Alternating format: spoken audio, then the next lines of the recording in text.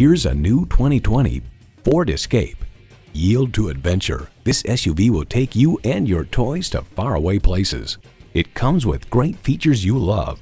Streaming audio, power heated mirrors, voice activated climate controls, doors and push button start proximity key, front heated bucket seats, automatic transmission, active grille shutters, gas pressurized shocks, and intercooled turbo i3 engine.